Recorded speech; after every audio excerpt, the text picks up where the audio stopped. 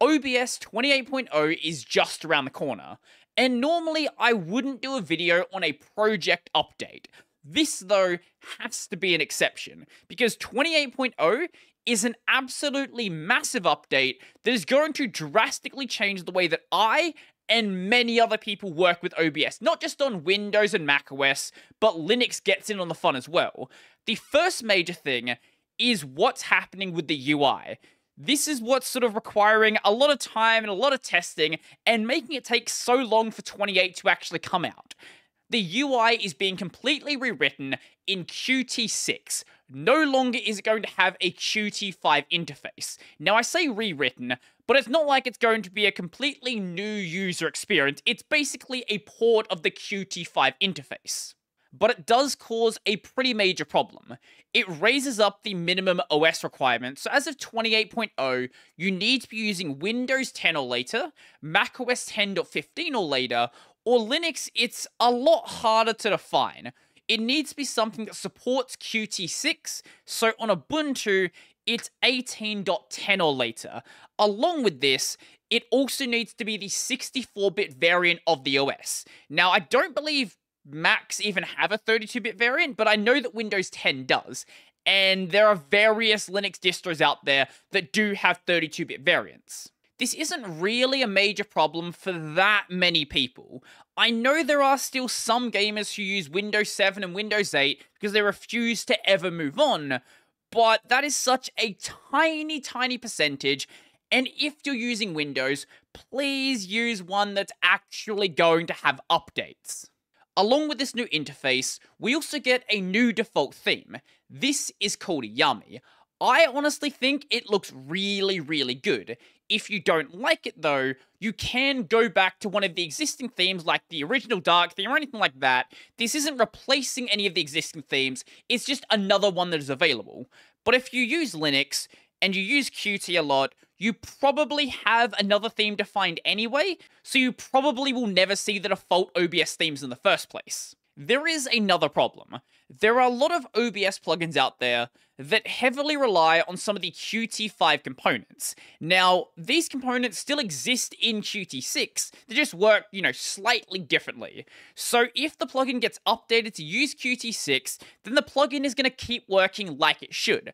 The problem, though, is there is a lot of plugins out there that were made, they work, and then pretty much got abandoned. So, unless someone goes and forks them, or maybe that developer comes back, there is going to be a lot of plugins that just frankly no longer work. This isn't going to be the case for every single plugin. Some of them will basically just seamlessly work, but there will be some this completely breaks. So you could argue that's sort of questionably good depending on what you need for your workflow.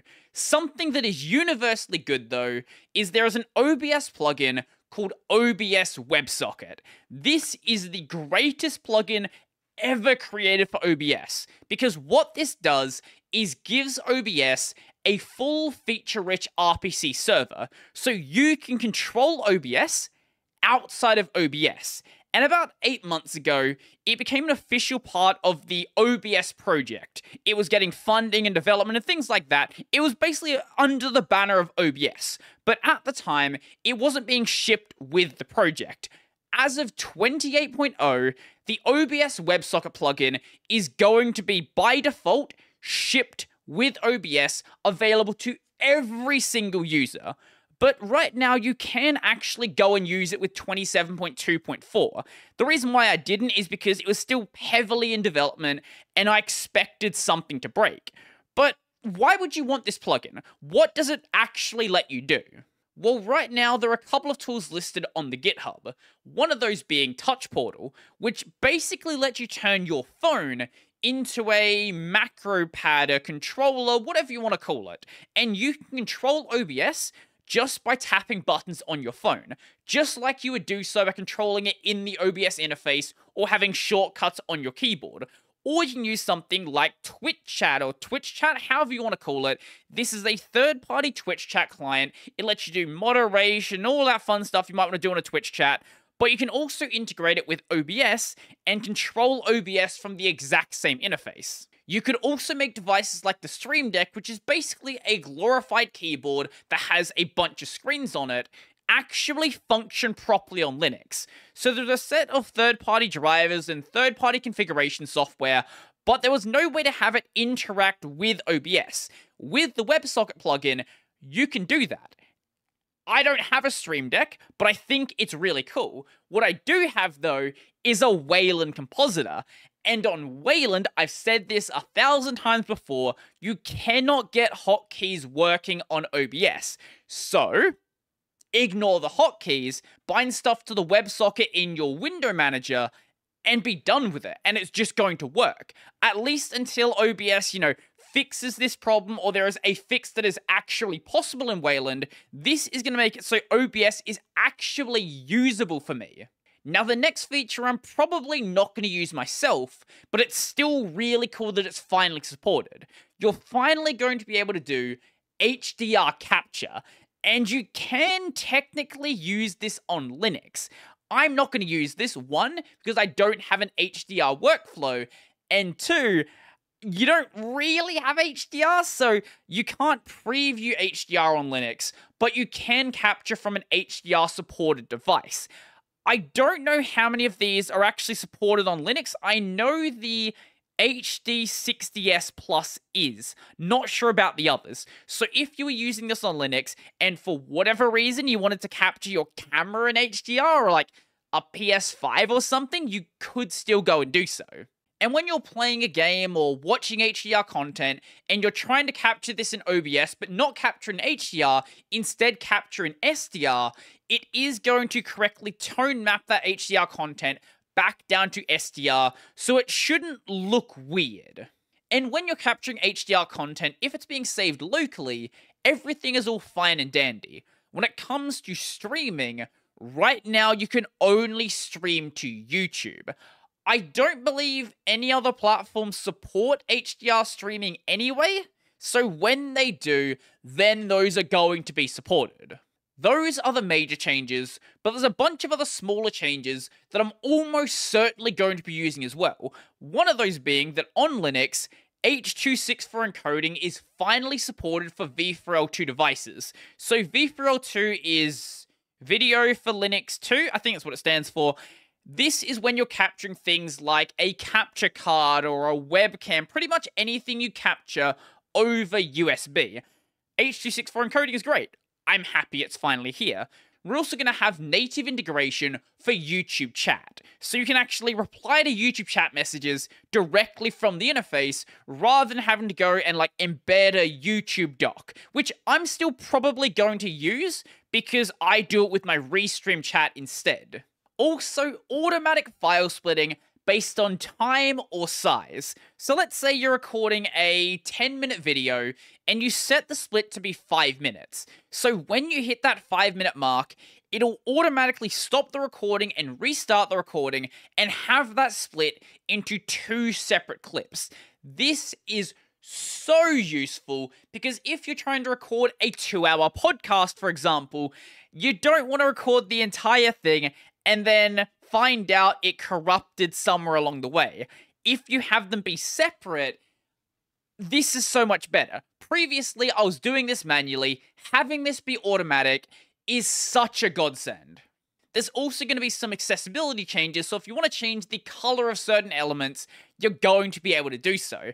I don't know the extent this is going to let you control, but I hope I can change the color of my start streaming button to a color that is not the same as every other button, because I've accidentally pressed that button a couple of times. I want to make it red. Any color that is not the same color. There is also going to be a handle to rotate sources. So rather than having to like flip sources by resizing them into themselves and then pulling them out the other side, you'll now be able to rotate them like any sensible application. There is also going to be better tooltips, as in actual tooltips and not just alt text. There are so many buttons that say things like add or remove or properties. What is it the properties for? What am I adding? What am I removing? I have no idea. Once you get used to OBS, it's easy enough to deal with, but there's kinda no excuse for tooltips being that bad. At least just say, add thing. That's all. It doesn't have to be like a big description, just tell me what I'm adding. Also on Linux, it is swapping from GLX rendering to EGL rendering. And without doing an entire video explaining what these two are, just know that it should lead to better performance. Now, this one's not related to Linux, but for any of the Apple Silicon users out there, there is now going to be a native Apple Silicon version. It's not a perfect solution, because if the plugin was compiled for x86, it's only going to work on x86. And you can't run the plugins in emulation and then use them in the native version. So, if you need the plugins, you need to keep emulating OBS.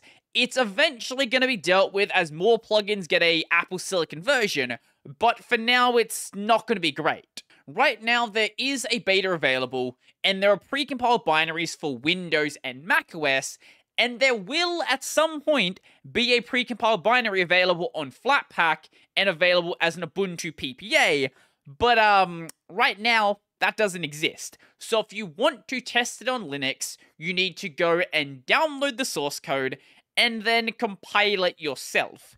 And doing that for OBS is a little bit of a pain. But if you would like to do so, or you just want to check out the changelog, which I highly recommend you go and read, because I've very much skimmed over the changes that are going to be made, this page will be linked in the description down below, along with the forum post as well. So let me know, do you use OBS? Is this change going to massively affect you? Are you going to make use of the WebSocket? Do you not really care about it? Is the Qt6 interface going to be a problem? Are you going to have to update your OS? I would love to know. So if you like this video, I'm going to go and like the video. If you really like the video and you want to become one of these amazing people over here, go check out my Patreon, Scribe, Starring Pay, linked in the description down below. I've got a podcast called Tech Over Tea. I've got a gaming channel called Brodie Robertson Plays. That's going to be it for me, and I'm out.